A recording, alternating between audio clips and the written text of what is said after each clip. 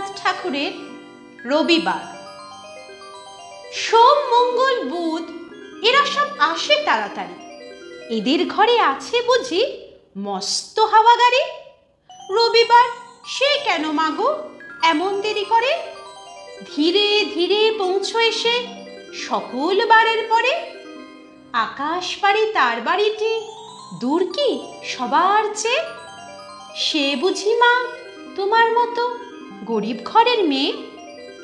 সোম মঙ্গল বুধের খেয়াল থাকবারই জন্যে। বাড়ি ফেরার দিকে ওদের একটুও মন নেই। রবিবারকে কে যে এমন বিষম তারা করে ঘন্টাগুলো বাজায় যেন আধ ঘণ্টার পরে ধন্যবাদ।